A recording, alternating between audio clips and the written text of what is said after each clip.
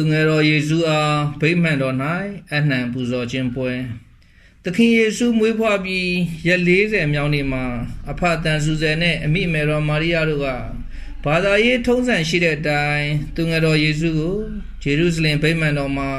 ဖျားသခင်အားပူဇော်အနှံကြပါတယ်။တောင်းဝင်ကြည်တဲ့မိဘများဖြစ်ပါတယ်။ဒါဟာထွတ်မြောက်ရာကျမ်းခန်းကြီး73အငယ်1မှာပါတယ်လို့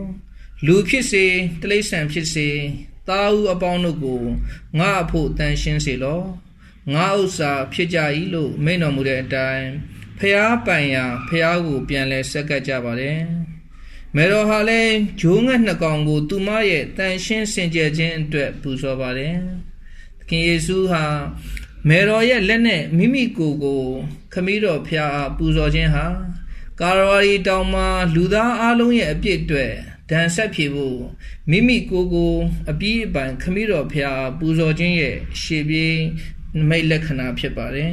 ။အဲ့ဒီအချိန်ဗိမာန်တော်ထဲမှာတက်ရှိတက်ကြီးရွယ်ဦးသူတော်မြတ်နှစ်ပါးဖြစ်တဲ့စီမေယုန်နဲ့ပရောဖက်မအာနာတို့ရှိတယ်။စီမေယုန်ဆိုတာ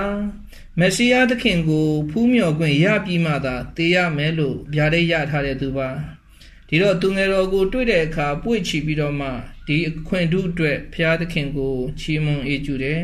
။လူအမျိုးမျိုးရဲ့ရှေ့မှောက်၌ပြင်ဆင်တော်မူသော အလင်းဒီဟုသောကယ်တင်သောသခင်ကို ကျွန်ုပ်မျက်စိနဲ့မြင်ရပြီသေပြောပါပြီလို့ဆိုခဲ့သူပါသူမိတ်ဆိုခဲ့တဲ့အလင်းရှင်ကယ်တင်သခင်ဆိုတဲ့စကားအပြင်အသင်းတော်ဟာဒီပွဲကိုကျင်းပတဲ့အခါ ကောင်းကြီးပေးပြီးသားဖျောင်းနိုင်များနဲ့စီတန်းလှည့်လည်ခြင်းကိုပြုပါတယ်ဒီလိုပြုလုပ်ခြင်းဟာယေရှုကိုယ်တော်ဟာမကောင်းမှုနဲ့တည်ခြင်းတရားရဲ့မှောင်မိုက်ကိုဖြိုခွင်းပြီးတော့မှကဘာလောကတဲ့ကိုအလင်းတရားသဲဆောင်လာသူဆိုတာကို ပုံပမာဆောင်ပါတယ်နောက်တစ်ခုကတော့ prophet မအာနာပါ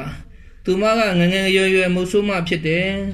ပြီးတော့ဗိမာန်တော်အနားတစ်ဝိုက်မှာနေထိုင်ပြီးဝုပြုဆူတောင်းခြင်းနဲ့ရှင်သန်က ကိုရောရှင်ကိုစောင့်မျှော်နေခဲ့သူပါနေကြတဲ့အခြေအနေမျိုးတွေကနေပြီးတော့မှဖျားသခင်ရဲ့အံ့ဘွယ်ရာကို သူမမြင်ရတယ်ဒါကြောင့်ယုံကြည်ခြင်း၌အသက်ရှင်ကမျှော်လင့်ခြင်းနဲ့ဆောင်စားခြင်းရဲ့ကျေးဇူးတော်ပါဒါကြောင့်ကျွန်ုပ်တို့မျှော်လင့်တောင်းတနေကြတဲ့အေးချမ်းသာယာပြီးစစ်မဲ့ကင်းတဲ့ကဘာကဘာကြီးနဲ့တဟဇာတာဖြစ်တဲ့လူပေါင်းဒါတွေကိုကျွန်ုပ်တို့အသက်ရှင်စဉ်မှာမြင်မြင်မှမြင်ရမှာပါ ဒါပေမဲ့ဘုရားသခင်အတွက်ကျွန်ုပ်တို့ပူဇော်သမျှလက်ခံသမျှအနစ်နာခံသမျှတိုင်းဟာဒီနေ့ကြီးအတွက်အာမခံချက်ဖြစ်လာပါတယ်ဒါကြောင့်ဓမ္မမိတ်ဆွေအပေါင်းယုံကြည်ဆက်ကပ်လျက်ထားရှိသော မျှော်လင့်ချက်များပြေဝကြပါစေ။